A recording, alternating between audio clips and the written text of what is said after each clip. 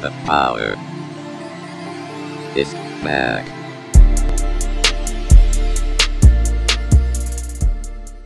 So anyway, back to today's video. Speaking of this new show that we're doing, we're gonna need a little bit of intro music for it and some background music. So today's video is to get us going with some of that. So stay tuned and come along with me for the ride.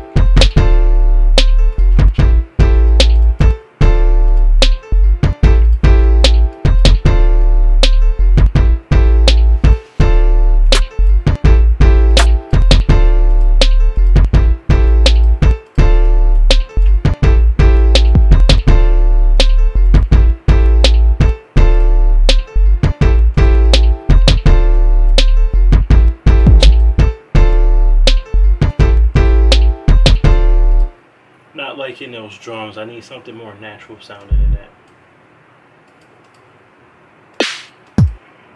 That's not gonna give it to me.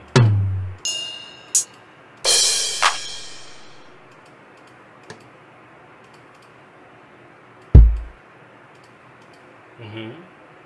Maybe.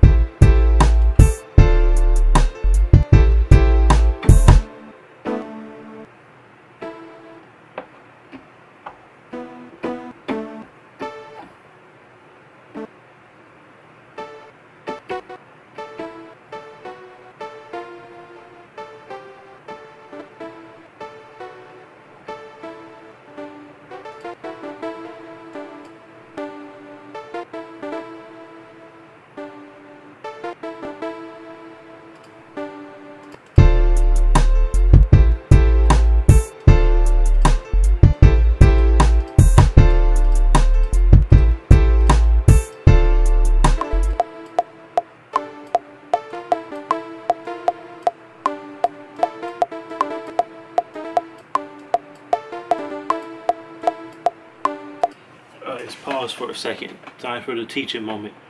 So I want to get more of a swing effect on this. That's part of the reason that's kind of I'm not happy with it. Uh, LMMS doesn't give you an actual button that lets you control groove or swing. But for those of us, for those of us that know music, we know swing is basically you're putting a beat in between the beat. A little secret to swinging is triplets. So just take the eighth notes and turn them into uh, triplets. You turn them into a two eighth note triplets tied together, followed by another eighth note triplet. So it's like, and that gives you a little bit of a swing. So I'm gonna so pay attention how I do this, so you'll see how to get a little bit of swing.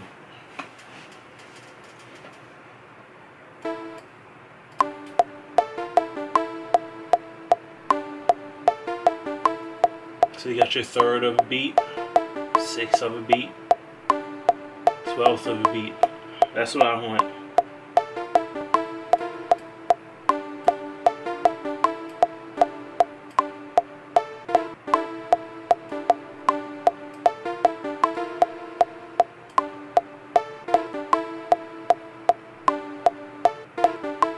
Problem is, since I didn't record it this way, it always moves it since I didn't record it in triplets and I recorded it in a duple meter when you try to slide it after changing the meter it slides it relative to where it already was. So you just have to keep that in mind and delete it first and then just draw the note back in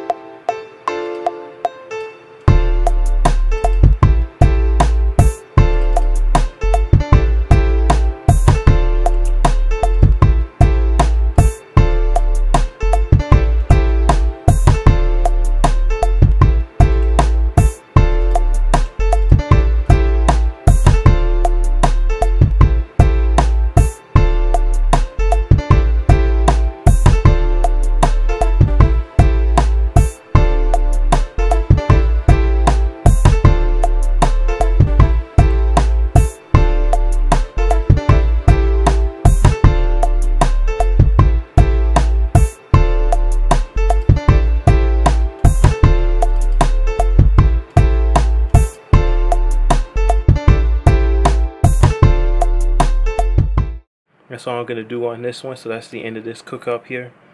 So uh other than that that's all I got to say. Until next time okay I love you bye